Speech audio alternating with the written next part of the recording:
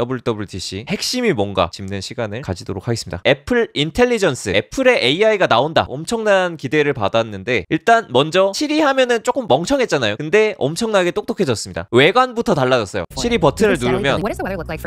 오 일단 Oh, 요렇게 mean- 주위가 싹 빛나면서 시리가 듣고 있다 보여주고 있고요. 그리고 이분이 말을 한번 겁니다. What does the weather look like for tomorrow at Muir Beach? Oh wait, I meant Muir Woods. 해변이 아니고 숲인 거예요. 그래서 Muir Woods라고 바꿨는데 맥락을 다 이해하고 The forecast is calling for clear skies in the morning near Muir Woods의 날씨를 알려주죠. 이런 식으로 좀 더 자연스러운 대화 가능하다. 그리고 conversational context, 즉 맥락을 기억하고 있습니다. 이전 맥락을 이해할 수 있는 거죠. there라고 되어 있죠. create an event for hike there. 그럼 there가 어딜까? 그 Woods를 의미하겠죠. Muir Woods. 그거를 이해하고 캘린더에 Muir Woods라고 등록을 해줬죠. 그런 식으로 이제 맥락을 이해할 수 있다. 그리고 이제는 시리한테 말로 꼭 얘기할 필요가 없어요. Type to Siri라는 게 추가돼서 채팅으로 대화를 할 수 있습니다. 그리고 아이폰의 매뉴얼을 빠삭하게 알고 있습니다. 예약 메시지 보내는 법을 알려줘 라고 하니까 가이드를 자세하게 알려줍니다. 가이드에 대한 건 빠삭하게 알고 있다고 합니다. 그리고 on-screen awareness라는 게 가능하다고 합니다. 이제 현재 스크린에서 보고 있는 걸 기반으로 답변도 줍니다. 이렇게 대화를 나누는 문자 내역 중에 여기 주소를 말했어요. 그래서 이 주소를 이 사람 연락처에 추가를 해줘라고 시리한테 시키면은 보고 있는 이 화면을 기반으로 주소를 추출해가지고 저장을 해줍니다. And Siri will take care of it. 주소를 저장해 준 걸 볼 수 있죠. 아무튼 이렇게 보고 있는 화면 기반의 정보를 가져와서 시킬 수도 있고요. 그리고 in-app action이 가능합니다. 앱에서의 기능들을 수행할 수가 있는 거예요. 앱 속의 기능을 시리를 통해서 실행을 할 수가 있습니다. 뉴욕에서 핑크 코트를 입고 있는 스테이시의 사진을 보여줘 라고 복잡한 질문을 했죠. 사진 앱이랑 연동해가지고. 핑크 코트가 있는 거를 검색을 해서 찾아줍니다. 보정하는 것도 팝하게 만들어 달라고 하니까 보정도 알아서 해주죠. 이제 사진 앱 안에 있는 보정 기능 이런 것도 시리랑 연동이 돼가지고 수행할 수가 있는 겁니다. 이 사진이랑 스테이시의 정보랑 노트 에 기록을 해줘 라고 And it 하니까.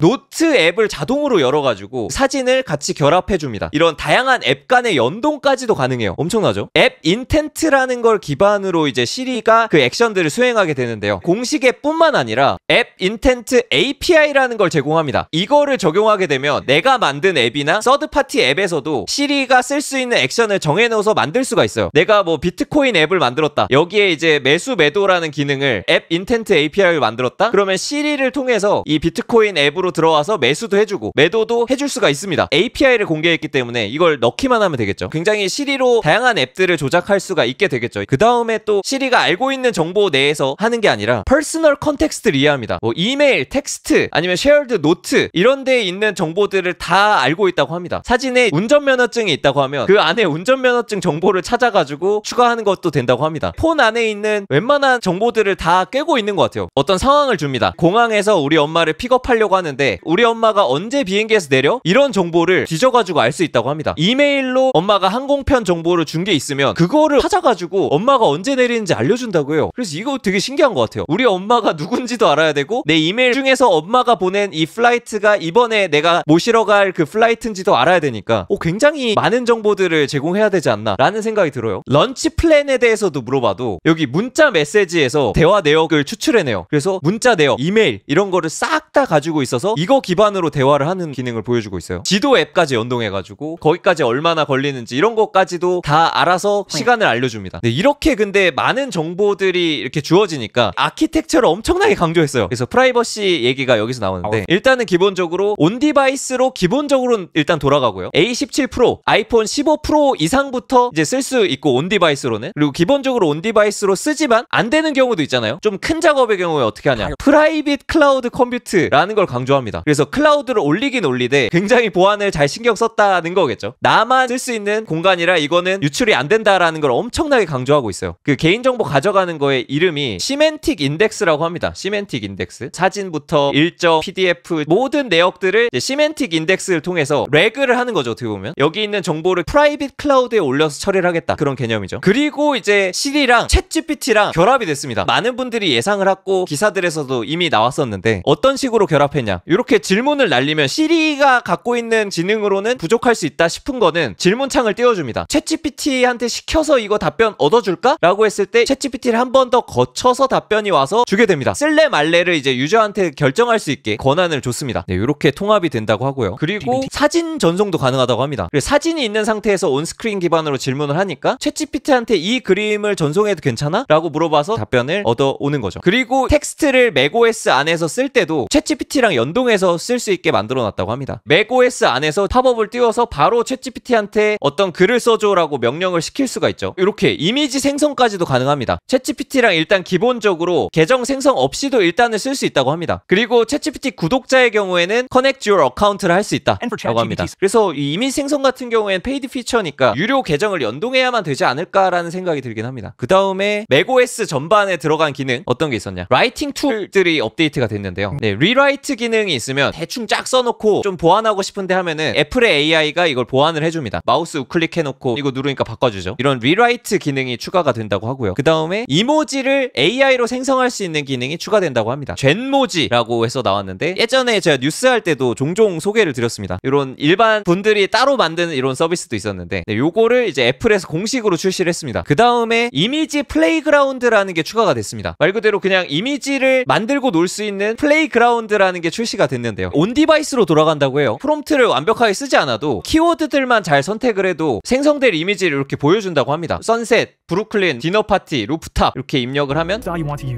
이렇게 이미지가 나오죠. 데모만 봐서는 굉장히 빠른 것 같아요. on-device로도 꽤 빠르게 이렇게 동작하는 거를 볼 수가 있습니다. 괜찮을 것 같긴 해요. 왜냐면 인터넷 없이도 이런 이미지 생성이 가능한 거니까. 근데 되게 또 놀라운 거는 이런 기능을 애플 기본 앱으로 사용하는 것 뿐만 아니라 API를 제공해요. 굳이 별도의 모델을 다운받고 이러지 않아도 이제는 그냥 Image Playground API를 이용해서 갖다가 쓸 수도 있겠죠. 요거는 이제 좀 개발자분들에게 괜찮은 좋은 소식인 것 같습니다. 그 다음에 Image Wand라는 것도 있는데요. 이미지를 수정할 수 있는 기능인데 이렇게 스케치 한 게 있으면 이렇게 스케치까지 반영해가지고 이미지를 생성해주는 걸 볼 수가 있죠. 그리고 이런 빈 공간에 주변에 있는 context를 기반으로 이미지를 생성해줄 수도 있다고 합니다. 그 다음에 뒤에 나온 사람들 지워주는 기능 있죠. 이런 기능이 또 들어왔습니다. clean up tool이라고 합니다. 여기서의 이름은 사람들 지정해가지고 so you 싹 네 이렇게 사라지게 할 수가 있다고 합니다. 그리고 사진이랑 영상 검색하는 거 AI 기반의 검색이 가능하다고 합니다. Maya skateboarding in a tie-dye shirt 하니까 skateboarding 하는 장면들을 쭉 찾아준 걸 볼 수가 있죠.